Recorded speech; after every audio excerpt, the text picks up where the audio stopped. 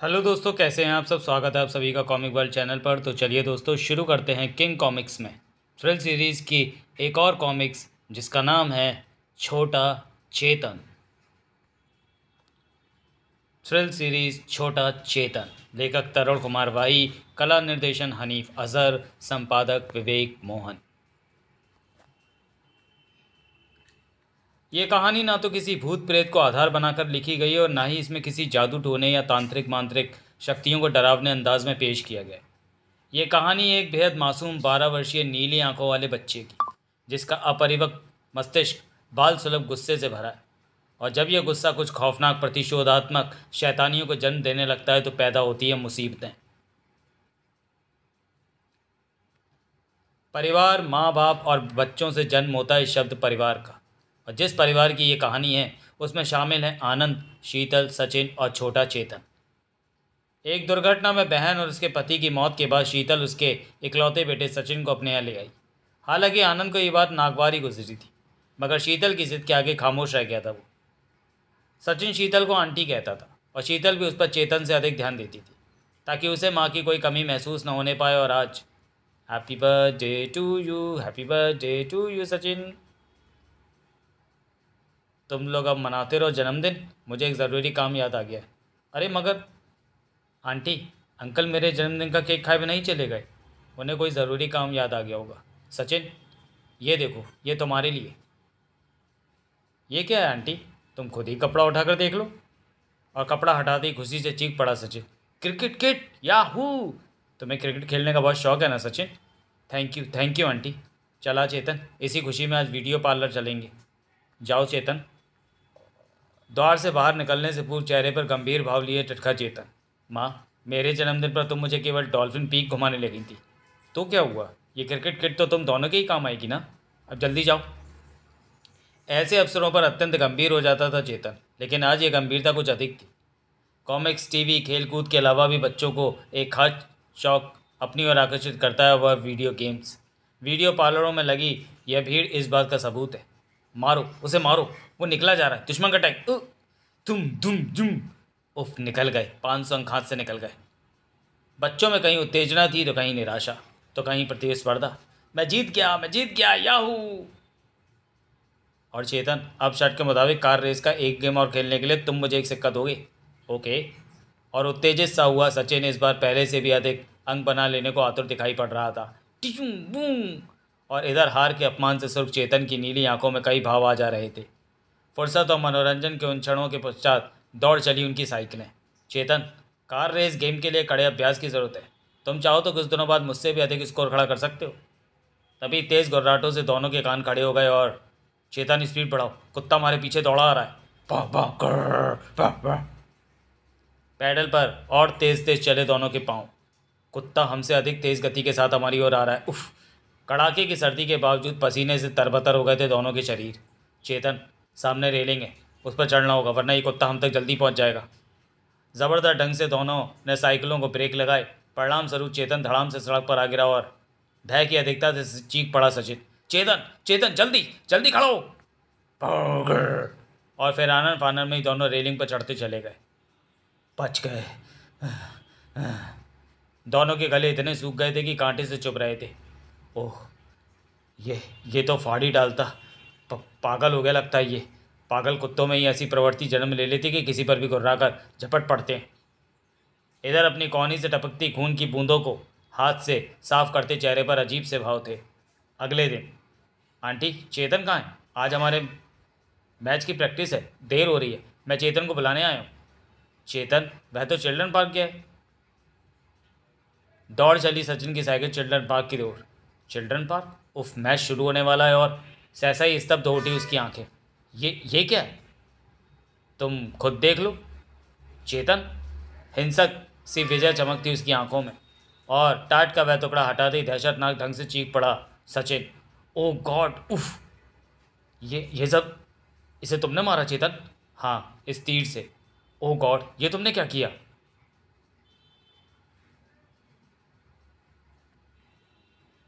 लेकिन चेतन, अधिक कुछ नहीं किया, केवल इसे इसकी गुस्ताखी की सज़ा दी है।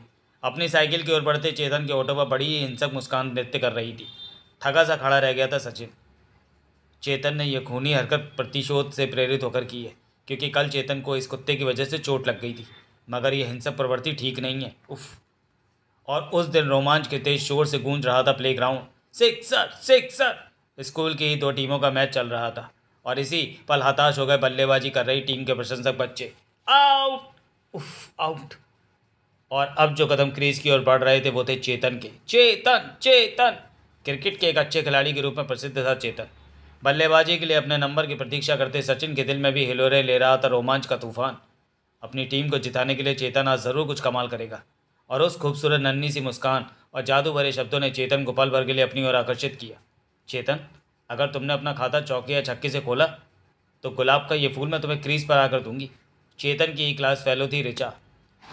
और फिर वह फास्ट बॉल गोली की तरह चेतन की बल्ले की ओर बढ़ी, लेकिन थड़ाक out clean bowled out zero zero हाय हाय zero zero Chetan zero Richa के हाथ से छूटा हुआ अंडा और तड़ाक ज़ीरो ज़ीरो चेतन ज़ीरो और इधर अपमान की अनुभूति से लाल हो रहा था चेतन का चेहरा। और लाल नीली आँखों में खिंचने लगी थी खून की डोरियाँ। हिमलेख, यानी बर्फ़ से आच्छादित झील। शीतकाल में जिसकी जलीय सतह परिवर्तित हो जाती है, बर्फ़ की सख्त परत और सैलानी उस प्राकृतिक सौंदर्य का आदन, आनंद लेने वहाँ पहुँचने लगते हैं। और यह वह स्थान था जहाँ से आगे जाना निषेध था। खतरा, बर्फ़ की सतह नर्म हो सकती है, आगे ना जाएँ। धन्यवाद। बर्फ़ की इस मोटी परत पर किलकारियाँ गूंज रही थी सन ब्राइट पब्लिक स्कूल के बच्चों की भी। संभल कर सचिन, मुँह मत तोड़वा बैठना। स्केटिंग का चैंपियन रह चुका हूँ, रिचा, तुम अपनी फ़िक्र करो। अरे चेतन, तुम वहाँ अकेले क्या कर रहे हो? आओ मेरे साथ बर्फ़ पर फिसलो। और तभी चेतन का हाथ थाम लिया वहाँ से गुजरती रिचा ने। अरे अरे, रुको। चेतन, मेरा हाथ, मेरा साथ फिसलो ना। इसी पल गूंज उठी कई खिलखिलाहट। अरे, बर्फ़ की धरती पर चलना तो सीख लिया होता। नीली आँखों में उतरने लगी वही सुर्ख रेखाएँ। और फिर बर्फ़ पर तेज़ी के साथ फिसला छोटा चेतन। अरे वाह, ये तो छुपा रुस्तम निकला। चेतन, रुको। चेतन ने बाज की तरह झपट कर ऋचा की कलाई अपने हाथ में दबोच ली थी। ओह, चेतन आई एम सॉरी मेरी वजह से तुम गिर गए। अरे रे, धीरे धीरे, अब मुझे गिराओगे क्या? जबड़े बेचे हुए थे लड़के के। काश उसकी आँखों की ओर देख पाती ऋचा, जो कि निरंतर सुर्ख होती चली जा रही थी। उफ, उधर किधर जा रहे हो? चेतावनी बोर्ड नहीं पड़ा क्या, चेतन? और इधर सचिन का दिमाग भक्क से उड़ा जा रहा था। चेतन, रुक जाओ। उधर खतरा है। चेतन! इसी पल चेतन के उस हाथ ने ज़बरदस्त झटका खाया, जिसमें थाम रखा था ऋचा का हाथ और आ, चेतन! अनियंत्रित होकर गिरी ऋचा और बर्फ़ की सतह पर फिसलती चली गई। वहाँ पहुंचकर रुक गया। उसका भय से थरथराता जिस्म आँखों में बह रही थी अविरल आंसुओं की धारा। रस्सी फेंको उसकी तरफ़। हट जाओ, मुझे जाने दो। चेतन! पागल मत बनो, आगे खतरा है। दहशत से कांपती उठकर खड़ी हो गई ऋचा। सचिन, मुझे बचाओ। कर कर चरमराने लगी थी बर्फ़ की धरती, और इसी पल रस्सी उसकी ओर उछली। इसे पकड़ लो, ऋचा। ठीक, उसी क्षण उसके पाँव के नीचे चकनाचूर होता चला गया बर्फ़ की चादर का सा बिना फर्श। क्रंच समूची ही झील के गर्भ में समाती चली गई थी ऋचा। क्षण भर पहले रोमांच और प्रसन्नता में डूबे चेहरों पर सन्नाटा खिंच गया। नहीं! उफ, अब नहीं बचेगी वो। छोड़ दो मुझे, जाने दो मुझे। उधर बर्फ़ की सतह कच्ची है, तुम भी मरना चाहते हो क्या? रिचा के जल प्रवेश के साथ ही पुनः पानी की सतह पर जमती चली गई थी, बर्फ़ की एक और पतली परत। और नीचे गोते खा रही थी रिचा। किसी भी आकस्मिक दुर्घटना से निपटने को तैयार रक्षक गोताखोर दल सूचना की प्राप्ति के साथ ही वहाँ पहुँचा। सब लोग पीछे हट जाएँ।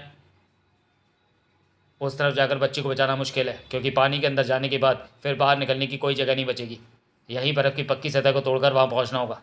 थाक ताक जल्दी करो, माइकल, समय कम है। दो फुट मोटी बर्फ़ की सतह में बने उस गड्ढे से माइकल पानी में उतरा। जल्दी करो, सुलेमान, जल्दी। और फिर सुलेमान द्वारा रस्सी के माध्यम से संकेत देने पर उसे वापस खींच लिया गया। ओह, अत्यधिक ठंडे पानी के कारण इसका तो जिसम नीला पड़ चुका है। कहीं लड़की बेहोश हो चुकी है। अभी ज़िंदा है, इसे फ़ौरन अस्पताल पहुंचाना होगा। कोई उपस्थित प्रत्येक व्यक्ति ईश्वर से उस मासूम की जान की खैर मना रहा था। और इधर चेतन के ऑटो पर थी विजयी और हिंसक मुस्कान, जिसे केवल सचिन देख पा रहा था। और तब मस्तिष्क में मस्ता तूफ़ान भड़क कर बाहर आने को तैयार था। ठहरो चेतन, रुक जाओ। मुझे बताओ कि तुमने ऋचा के साथ ऐसा क्यों किया? वो मेरे हाथ से छूट गई थी। तुमने उस कुत्ते को क्यों मार डाला था? क्या मतलब? मतलब साफ़ है, ऋचा ने तुम्हारे साथ दो बार शैतानी की, केवल शैतानी। और तुमने इस अपमान का बदला लेने के लिए ऋचा को आज मारने की कोशिश की है। ये झूठ है। मैं आंटी को सब कुछ बता दूँगा। क्षण भर को रुका चेतन। मेरे साथ आओ, मैं तुम्हें एक तमाशा दिखाना चाहता हूँ। चेतन उसे ले गया अपने कमरे में और अब चलो, ये करना क्या चाहता है? अरे सचिन, चेतन, तुम दोनों अभी आए हो, फिर कहाँ चल दिए तुम्हारे पापा भी ऑफ़िस से आने वाले हैं, चेतन। अभी लौटता हूँ, माँ। कहाँ ले जा रहे हो? क्या कर रहे हो? इस पुतले का क्या करना चाहते हो? सब बताऊँगा। पुल के किनारे पर आ खड़ा हुआ चेतन। उफ, क्या सोच रहे हो, क्या देख रहे हो नीचे? अभी बताऊँगा। चेतन की नीली आँखों में सुर्ख रेखाएँ दृष्टिगोचर होने लगी थी और अनायासी उसने हाथों में थमा पुतला नीचे फेंक दिया और पुतले के अनायासी गिरने के कारण बस का ड्राइवर बुरी तरह से हड़बड़ा गया। बच्चा, पुल से गिर गया। ज़बरदस्त ढंग से ड्राइवर के पाँव बस के ब्रेकों पर कस गए। ओह बुरी तरह अनियंत्रित हुई बस और आ, सैकड़ों कराओं व चीखों से गर्म उठा वातावरण। अगर तुमने माँ से कोई शिकायत करने की कोशिश की तो उस पुतले के स्थान पर तुम भी वहाँ पड़े हो सकते हो। उफ, मुझे ये बात समझाने के लिए तुमने दर्जनों लोगों को मौत के कगार तक पहुँचा दिया, चेतन। और फिर भीतर प्रवेश के साथ ही चेतन की निगाहें ठिटक गई उस ओर। चेतन, सचिन जो कह रहा है, क्या वो सच है? एक छोटे मार्ग से चेतन के पहुँचने से पहले ही सचिन वहाँ पहुँचा था। चेतन, मैंने तुमसे कुछ पूछा है, मुझे जवाब चाहिए। उफ, इतनी खौफनाक शैतानी है तुम कब से करने लगे, चेतन? तुम्हारे कारण न जाने कितने लोग, उफ मैं तुमसे कुछ पूछ रही हूँ, चेतन, और मुझे जवाब चाहिए। चटाक! ये क्या हो रहा है, शीतल? तुम दोनों जाओ, और सारी बातें सुनकर दिमाग अंतरिक्ष में चक्कर लगाने लगा था आनंद का। नहीं, चेतन ऐसा नहीं कर सकता। वो तो किसी से अधिक बातचीत भी नहीं करता। मैं उससे बाद में पूछूँगा। फ़िलहाल तो मुझे एक कप चाय बना दो। ठीक है, आप चाय देकर मुझसे भी कुछ ज़रूरी चीज़ों की ख़रीदारी के लिए बाज़ार जाना है। इधर सचिन के दिमाग में इस वक्त छूटने लगे थे अनार। चेतन तो मैं अपने आप को बदल होगा वरना बहुत भयानक अंजाम होगा तुम्हारा। तुम पर कोई मुसीबत आए तो मुझे बर्दाश्त ना होगी। आँखों में वही हिंसक भाव लिए पलटा चेतन। सचिन, तुमने डॉल्फिन पीक के बारे में सुना है? क्यों? तुमने ये इस वक्त अचानक क्यों पूछ रहे हो? सुना है डॉल्फिन पीक से अगर कोई गिर जाए तो उसकी लाश भी नहीं मिलती? हाँ। कहाँ जा रहे हो? मैं माँ के साथ डॉल्फिन पीक घूमने जा रहा हूँ, आज और अभी। विस्फोट सा हुआ सचिन के मस्तिष्क में। क्या? इसलिए क्योंकि आंटी ने तुम्हें थप्पड़ मारा? उम्र में छोटा ज़रूर था सचिन लेकिन इतना भी नहीं कि चेतन के कई वाक्यों का अर्थ ही नहीं समझ पाता। अपने स्वर को खुंखार बनाने की भरसक चेष्टा करता हुआ चीखी जो पड़ा सचिन नहीं तुम वहाँ नहीं जाओगे। तुम वहाँ आंटी के साथ नहीं जाओगे चेतन। तुम मुझे वहाँ जाने से नहीं रोक सकते। रोक सकता हूँ। मैं आंटी को सब कुछ बता दूँगा। उह। नीली आँखों में आने लगे वही खौफनाक भाव। हट जाओ। तुम मुझ पर चाकू चलाओगे बाज की तरह झपटा सचिन और थामली चेतन की कलाई। अब तुम्हारी कोई शैतानी सफल नहीं होने दूँगा मैं चेतन। नीचे गिरते ही चाकू चेतन के हाथ से छूट गया। चेतन पुनः झपटा चाकू पर और इसी पर सचिन ने भी उस पर छलांग लगा दी। इसके हाथ चाकू लग गया तो ये मुझे भी मारे बिना नहीं छोड़ेगा। चेतन ने उसे दूर उछाल फेंका। था टीवी के चकनाचूर होने की आवाज़ से उछल पड़ा था आनंद। छनाक! इधर एक बार फिर चाकू उठाने में सफल हो गया चेतन। लेकिन सचिन के हाथ आ गया था वह फ्लावर पॉट तड़ाक! और इस बार सचिन नहीं उठा लिया चाकू। चेतन अब तुम कोई हरकत नहीं करोगे वरना। तभी उस ठोकर से उछल पड़ा सचिन। तड़ाक! भूकंप कैसे भाव थे आनंद के चेहरे पर। मैं जानता था कि मेरा चेतन कोई ऐसी वैसी हरकत नहीं कर सकता। वह शैतानी भी ज़रूर तू नहीं की होगी, जिससे कई वाहनों के दुर्घटनाग्रस्त हो जाने से कई लोग घायल हो गए। आ, नहीं अंकल! अपनी आंटी के आने तक तुझे यही इसी कमरे में बंद रहना होगा। नहीं नहीं अंकल! चेतन को रोक लीजिए, अंकल। वह आंटी को मार डालेगा। उसके सिर पर खून सवार है, उसे रोक लीजिए, अंकल। शराब अपनी आंटी के आने तक तुम चुपचाप पड़े रहो। इधर चेतन की आवाज़ पर ठिटक गई थी शीतल। तुम, माँ, क्या तुम इसी वक्त मेरे साथ डॉल्फिन पीक चल सकती हो? मुझे तुमसे कुछ कहना है। और प्लीज़ इनकार मत करना। ओके आओ। डॉल्फिन पीक यहाँ से अधिक दूर नहीं है। और वह दृश्य देखते सचिन की कनपटियाँ सनसनाने लगी। नहीं नहीं। आंटी आंटी, रुक जाइए, आंटी। काश की शीतल देख पाती चेतन की आँखों में हिलोरे लेती उस हिंसक चमक को। और इधर सचिन ने तोड़ डाली शीशे की वो दीवार। नहीं, मैं तुम्हें ऐसा तो साहस नहीं करने दूँगा चेतन। खनाक! उफ, आंटी को तो गुमान भी नहीं होगा कि चेतन उनकी जान लेना चाहता है। उफ, नहीं। Dolphin peak. कहूँ चेतन, क्या कहना है? माँ, सचिन सच जानता है। मैंने उस कुत्ते को जान से मार डाला, क्योंकि उसने मुझे हराने की, सॉरी, डराने की कोशिश की। मुझे इसके कारण चोट पहुँची। मैंने ऋचा को बर्फ़ के पानी में डुबो देना चाहा, क्योंकि उसने मेरी इंसल्ट की। उस पुतले से भयानक दुर्घटना कराकर मैंने सचिन के दिमाग में खौफ पैदा कर दिया और उसकी शिकायत पर आपने मुझे थप्पड़ मारा। मैंने सुना है कि डॉल्फिन पीक से गिरकर किसी की लाश का भी पता नहीं चलता। नीली आँखों में स्वर्ग डोरे खिंचने लगे थे। इसलिए मैं तुम्हें यहाँ लेकर आया हूँ, माँ, ताकि तुम्हें यहाँ से नीचे फेंक सकूँ। चेतन! क्रैक!